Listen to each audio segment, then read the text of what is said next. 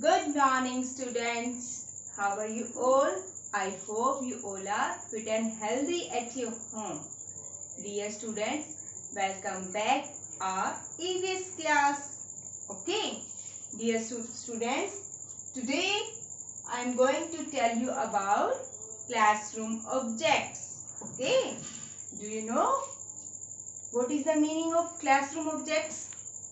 बेटा, जो आपकी क्लास में ऑब्जेक्ट्स होते हैं ना, उन्हीं के बारे में आज मैं आपको बताऊँगी। आपको पता है क्लासेस में क्या होते हैं? बेंचेस चेयर टेबल ओके तो आज look at the word everyone carefully now firstly tell me which day, date is today? 7 which month is going on? August. And which year is going on? 2020. Now tell me which day is today? Friday. Okay. Now look at the board. Tell me which picture is this? This is a book. This is a book. This is your EBS book. Students, you all have books. Hindi, English, Maths, Drawing, EBS, तो बेटा classroom में आप books भी रखते हो ना? तो classroom object में हमारा सबसे पहला ऑब्जेक्ट है book okay now what is this which picture is this tell me fast this is a bag this is a bag B A G bag ब एग बैग आप सभी बच्चों के पास बैग है ना? आप सभी बच्चे अपने बैग में books notebooks lunch books water bottle लेकर स्कूल आते हैं ना? अभी भी आप अपने घर में अपनी बुक्स संभाल कर बैग में रखते हैं। बेटा this is a bag okay what is this which picture is this tell me fast do you you know very well which picture is this? This is a water bottle. This is a water bottle, okay? आप सभी को प्यास लगती है ना? आप सभी water bottle लेके स्कूल आते हैं। आप कहीं भी घूमने जाते हैं तो वाटर बोटल साथ लेके जाते हैं। Okay this is a water bottle okay and these are pencils pencil के बिना तो हम कुछ काम लिख ही नहीं सकते, कुछ भी नहीं लिख सकते, है ना? तो आपके बैग में पेंसिल भी होती है इरेजर भी होती है है ना? ज्योमेट्री बॉक्स होती है ना आपके पास? तो बेटा what is this this is a duster जैसे आप पेंसिल रब करने के लिए, जब लिखते हो रब करने के लिए इरेजर यूज़ करते हो ना तो मैम मार्कर से लिखते हैं बोर्ड पर तो क्या यूज़ करते हैं?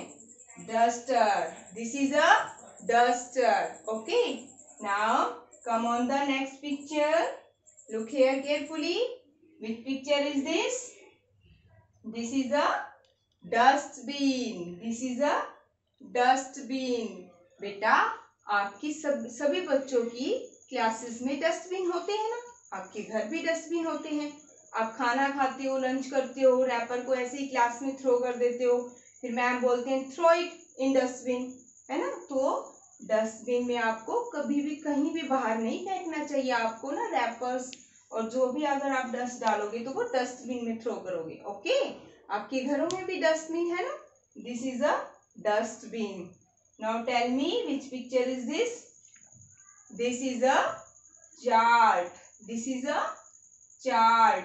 क्या पता आपकी मम्मा ने भी घर पर चार्ट लगा रखे होंगे, है ना कुछ कुछ पेरेंट्स ना घर पर भी चार्ट लगा देते हैं अल्फ़ाबेट के लेटर्स के काउंटिंग के, कि बच्चे अच्छे से करें, है ना अच्छे से समझें, उन्हें पढ़ें, देखें तो यहाँ किस चीज़ का चार्ट लगाया है मैंने डेज़ ऑफ़ द वीक मैं डेली आपसे पूछती हूँ ना week which uh, which day is today today is friday see monday tuesday wednesday thursday friday saturday sunday seven days are there तो बेटा ये दिस इज़ अ चार्ट आपकी classes में भी चार्ट है एनिमल्स के चार्ट हैं वेजिटेबल्स के फ्रूट्स के बर्ड्स के काउंटिंग के अल्फ़ाबेट के है ना स्वर व्यंजन के भी चार्ट हैं शेप्स के तो बेटा हर क्लासेस में चार्ट भी एक ऐसा ऑब्जेक्ट है जो ज़रूर होता है। तो ठीक है आई थिंक आपको समझ आया होगा। I hope you understood